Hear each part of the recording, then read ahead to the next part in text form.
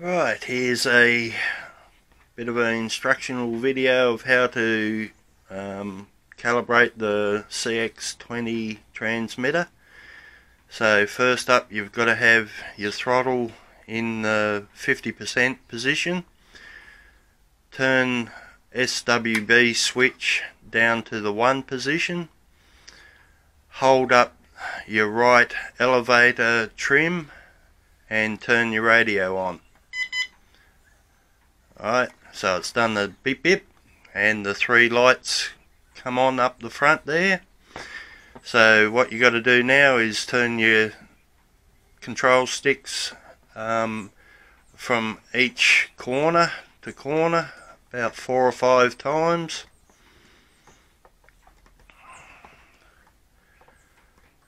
Put your transmitter throttle stick into the middle position again.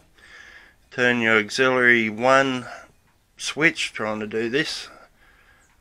All the way to the left. All the way to the right. Then back to the 0 position.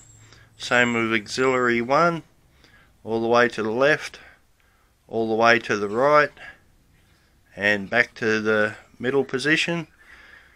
Turn off SWB switch and your transmitter is ready to use.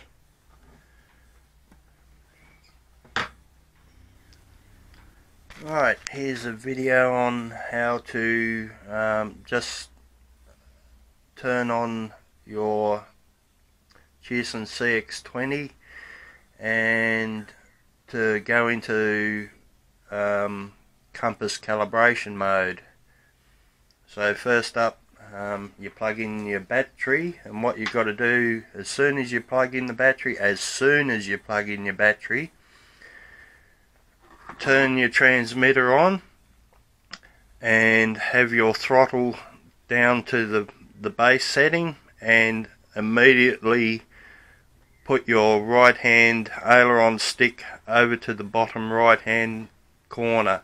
And then uh, on the quadcopter the actual you'll get a red and yellow light flashing here. That means it goes into calibration mode and then you um, then you go through the process in the book of um, turning the quadcopter around on its own axis about five or six times and then as soon as you've done that you point the nose down to the ground and turn it on that axis five or six times put it back down onto the ground and unplug your battery.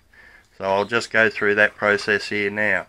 So remember, as soon as you plug in the battery lead, turn on your transmitter straight away and and then down to the right hand corner.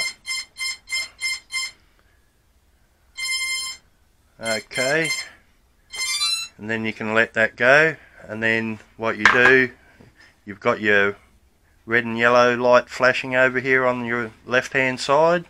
So then you can go into calibration mode. Um, you turn your quadcopter around on its own axis about five times. I'm not doing it here. I haven't got the room and I can't move the camera. And then you tilt it up on its end and turn it around five times place it back down onto your onto a flat surface. Disconnect your battery. And Bob's your uncle. Turn your transmitter off and it saves those settings. And you must remember also when you've done your calibration um, if you go to a different flying site um, you've got to do the calibration again for that site so that it can get the GPS lock for that particular site so you return to home and all that stuff will work on your CX20